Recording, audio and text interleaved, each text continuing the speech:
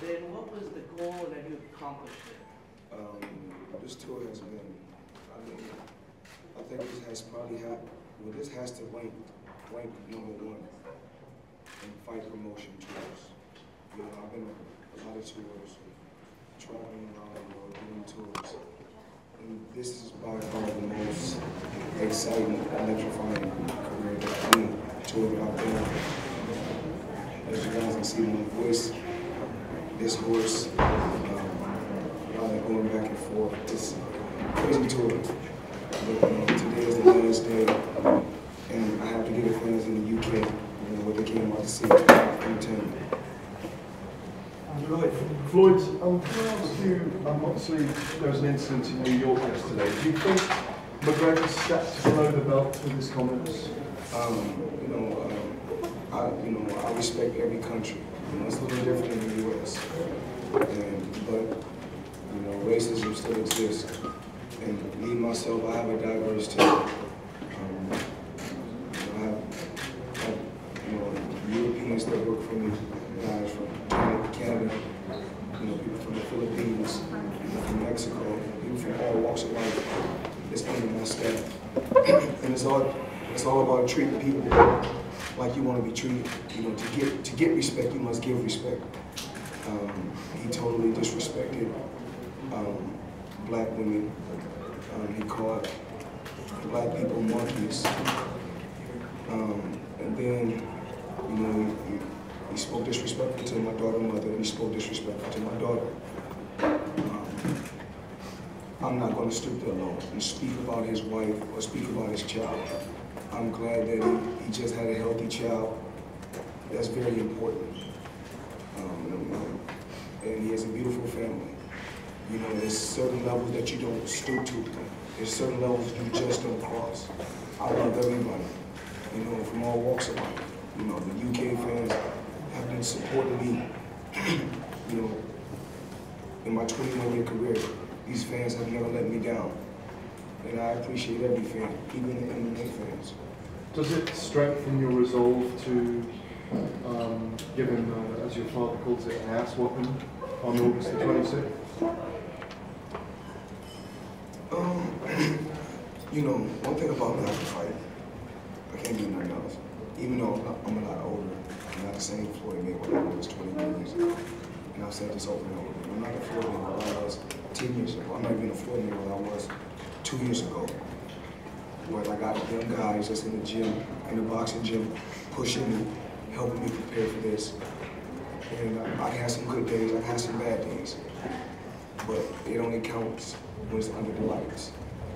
Um, and when you really look at the ma- matchup between me and McGregor, everything leans, leans towards McGregor. Meaning, he's he's taller. He has a 74 inch reach. I have a 72 inch reach. Um, he's in his 20s, I'm in my 40s. Youth is on his side, and he's active and inactive. So, and he's a stand-up fighter. So, um, you know, we'll see how the how the, lay, the layout plays a major key. We just have to see. Do you think that in him stooping that low, as you put it, is a sign of desperation as he once now been up against you?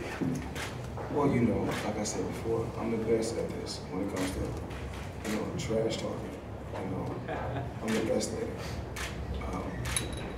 As you can see, and you guys will see today, once we get out there on the, on the podium, when he, when it's time for him to speak, and he's out there speaking his piece, and he's, he's speaking from the heart, and he's throwing his shots, and he's saying whatever he want to say. I don't say one thing.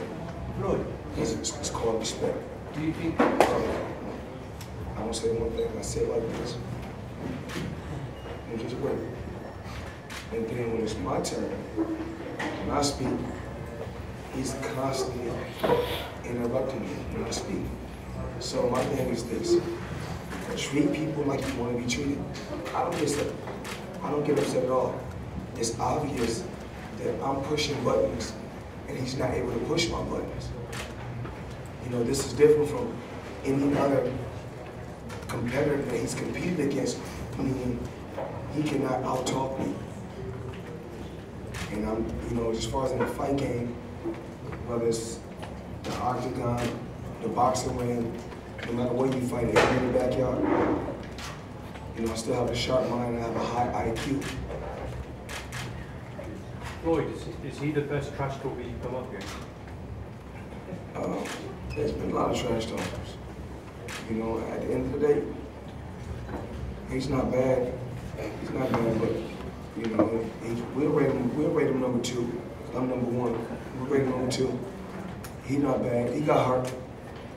Floyd, you have to prepare for these press conferences. You guys are selling out, you know, 13,000, 50,000, 20,000 people just to see you guys Yes. talking. Do you guys have to prepare for these things as well? I mean, it's a job. You know, I, I signed. I signed up for this. You know, um, but I really want to say thank you to everyone in here. Just, you know, this is my last fight. I can't. You know, it's just, it's grueling. You know, just years and years and years and years of just fighting and traveling. And I gave Al Haymon my word. I shook his hand the other day. I shook Al Haymon's hand and gave him my word that this will be my last fight. And I promised him this will be my last fight. So, um, I mean, I thought the Berto fight was gonna be my last fight, but I'm still a bit, I'm still a businessman. And I had to make a smart business decision. And the fans demanded this fight, but it had to start from somewhere, and it started with me. With that in mind, This Floyd, fight what do you think? a Pacquiao fight. We'll, we'll just see. As far as the turnouts, you know, press conference, the turnouts that we, you know, going from city to city, this has been by far the best of any press conference. Um, well, I had a big press conference before with Canelo. I think we done somewhere like probably twenty thousand in Mexico. So you know, I've done big press conferences before, but you know, just three countries, four cities in three countries. I mean, what? Uh, three countries and four cities in four days. is, it's grueling. In an You know, instant, it's hotel, hotel, and you can't even unpack your bags. You're on to the next, on to the next, on to the next. You know, trying to eat, trying to squeeze that in your schedule. it's grueling.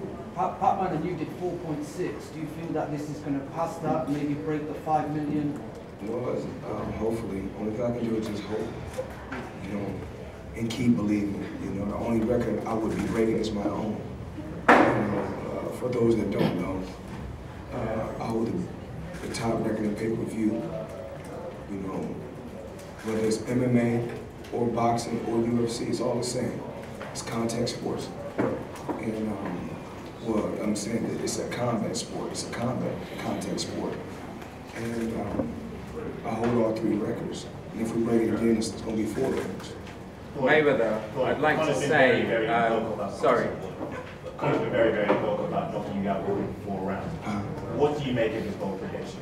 um, I don't really, you know, I don't really think about that. You know, I, y'all know. Um, you know, just I, I got.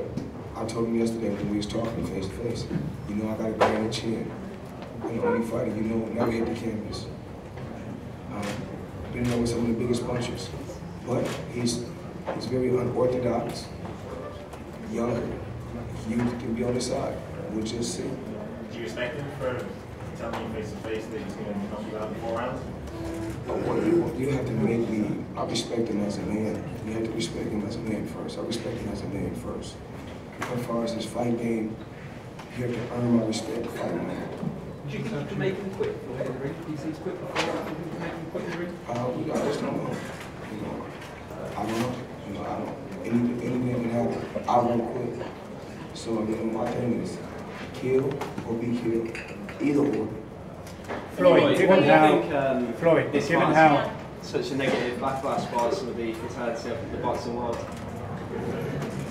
Uh, what, what do you believe um, in the boxing community? Uh, there's been a bit of a negative um, comments about it. What do you believe about? Well, you know, we just call that jealousy. That comes with the territory. Upset. I mean, this is big for both MMA and the boxing world. This is huge. As you guys can see now, every UFC, every MMA guy is trying to fight a boxer. I mean, a fight like this can only happen once in a lifetime. This is a very, very big event. And, you know, I have to take my hat off to Conor McGregor and Dana White because, you know, it takes more than just myself. Uh, it took more than just myself to make this happen. But to make a fight of this magnitude happen, I had to be involved. Yeah. You guys know, um, guys got the best of me before in the first round. Guys got the best of me in the second round. But, um, like I said before, when I talked about the IQ, I can make adjustments. One thing about me, I can make adjustments. You you look at the Shane Mosley fight, I got hit, hit with a good shot in the second round twice. When I came back out in the third round, I was a total different fighter. So I can make adjustments. Floyd, is Conor as great, as confident as he sounds, or can you see something that tells you otherwise? Um, uh, he's, a, he's a warrior. He's a warrior. That's one thing we know about Conor He's a warrior. Um, he's going to fight to the end. And he has the same, I think he's, he's approaching this fight the same way I'm approaching this fight. It's either kill or be killed. And I think we're both taking the same approach. And uh, believe me, ladies and gentlemen, believe me when I tell you this, it's not going to be a dull fight. Believe me. Floyd. With, uh, with Conor having no professional boxing matches, how much time have you put into studying his UFC fights? And is there any value in that for you? Um, you know, I like I just like to stick to, to, to the same game plan. If I never watched tapes throughout my career, and the reason why I never watched tapes is because once these oppo- these guys and these opponents face me, they come with a total different game plan, and they come with a total different style. So, you know, um, I I just I just make adjustments when I get in there. I adapt once I get in there and we'll just see how everything goes. Are you expecting some weird things from him, or are you expecting him to come out like an orthodox boxer? Well, you know what? The question hasn't been asked to me on these occasions. Are you worried about an elbow? Are you worried about a knee? And my answer to, to that is, um, I'm just going to let uh, the referee do his job, and I'm pretty sure the referee's going to be fair, extremely firm, but fair. And Nevada Commission is all about treating both athletes and both competitors fair.